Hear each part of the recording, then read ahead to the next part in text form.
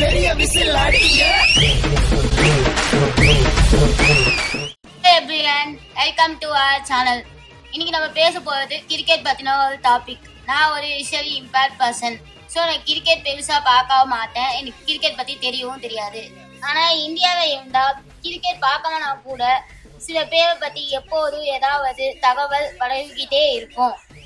ஆனால் ஒரு உதாரணத்துக்கு பார்த்தீங்கன்னா nineteen ninety two thousand period வரைக்கும் ரேடியோ டிவி நியூஸ் எல்லா வீட்லேயும் எப்போதும் சச்சின் சச்சினை பற்றியே பேசிட்டு இருப்பாங்க. அதுக்கப்புறம் பார்த்தீங்கன்னா ரீசன்ட் டைம்ஸில் சச்சின் மாதிரியே மோஸ்ட் பாப்புலாரிட்டி தோனின்னு ஒருத்தங்களுக்கு இருக்கு.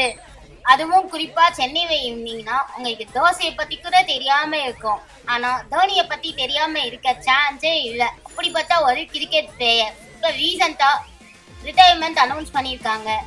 இப்போ எனக்கு தெரிஞ்ச சில தகவல்களை இந்த வீடியோவை ஷேர் பண்ணுறேன் இந்த சேனலுக்கு இப்போ தான் நீங்கள் புதுசாக வரீங்க அப்படின்னா கீழே இருக்க சப்ஸ்கிரைப் பட்டனையும் அது பக்கத்தில் இருக்க பெல் ஐக்கானையும் கிளிக் பண்ணிக்கோங்க. தோனினாவே நம்மளுக்கு முதல் விஷயம் ஞாபகம் வருது பால் தான். நான் சின்ன வயசுலேருந்து பாலும் எனக்கு பிடிக்கவே பிடிக்காது. நான் குடிக்கவும் மாட்டேன். எங்கள் வீட்டில் எங்கள் அப்பா எங்கள் அம்மா கிட்ட சொல்லுவார் தோனி பால் சொம்பு சொம்பா பால் குடிக்கிறாரு. அது குடித்தா பாடியில் ஸ்ட்ரென்த் வரும்னு சொல்லுவார்.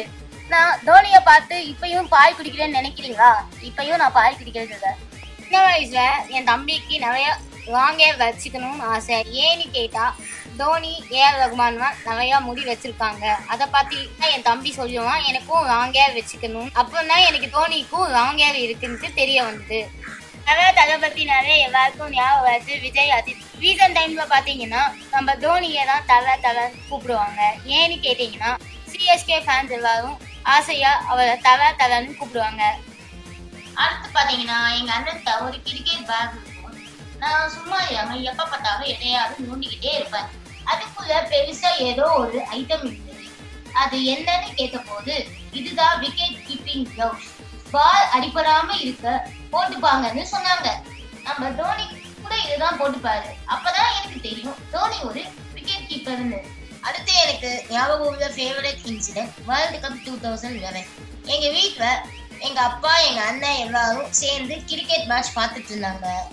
அப்போ என்னையும் எங்கள் அம்மாவையும் எங்கேயும் நகரக்கூடாது என்ன வேலை பண்ணுறீங்களோ அப்படியே இருங்க. தோனி அவுட் ஆச்சுன்னா இந்தியாவே தோத்துருன்னு எங்களை பாத்ரூம்ல போக விடாம கடுப்பேத்துவாங்க. தோனி சிக்ஸ் அடிச்சு இந்தியா வேர்ல்டு கப் ஜெயிச்ச அன்னைக்கு எல்லாரும் சந்தோஷமா செலிப்ரேட் பண்ணதை மறக்கவே முடியாத இன்சிடென்ட் ஃபைனல் மேட்ச்க்கு அப்புறம் பார்த்தீங்கன்னா ரெண்டு விஷயம் அதிகமா நியூஸ்ல வந்தது. அது என்னன்னு கேட்டிங்கன்னா helicopter shot captain cool Dhoni sixer அடிக்கிற ஷாட் தான் ஹெலிகாப்டர் ஷாட்னு சொல்லுவாங்க. இவர் தான் இந்தியன் டீம் கேப்டன் இவர் எந்த ஒரு சுச்சுவேஷன்லையும் கோவப்படாம பொறுமையா இருப்பாரு. காமா கூலா இருக்கிறதுனால எல்லாரும் இவர் கேப்டன் கூல்னு கூப்பிடுவாங்க. இந்தியா பாத்தீங்கன்னா தோனி சிஎஸ்கேவோட கேப்டன் இங்க ஐபிஎல் மேட்ச் வந்தாலே எங்க வீட்ல எப்பயும் சண்டையாவே இருக்கும். ஏன்னு கேட்டீங்கன்னா எங்க கசின்ஸ் பாதி பேர் சிஎஸ்கேக்கும் மித்த பாதி பேர் மும்பை இந்தியன் டீமுக்கும் சப்போர்ட் பண்ணுவாங்க. ஐபிஎல் மேட்ச் வந்தாலே எங்க வீட்டில் எப்பயும் சச்சின் தோனி சச்சின் தோனின்னு சண்டையும் போட்டுப்பாங்க ஜாலியா இருக்கும் அது.